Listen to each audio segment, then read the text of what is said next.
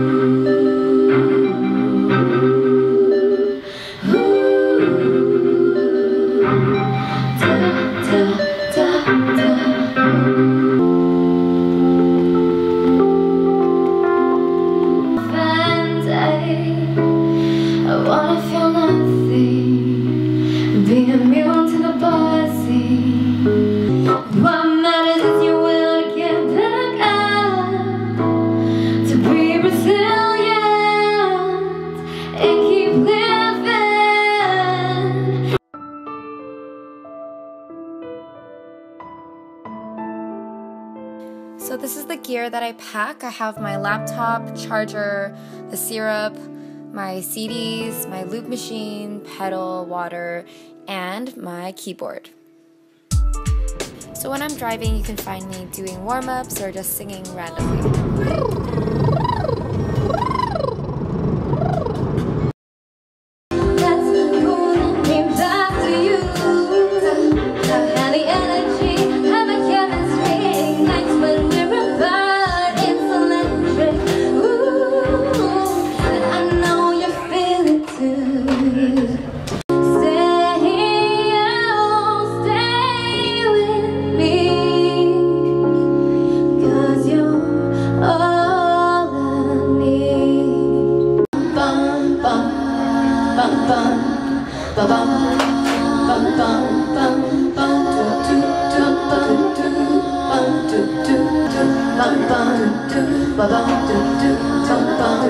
Never took your side, never comes your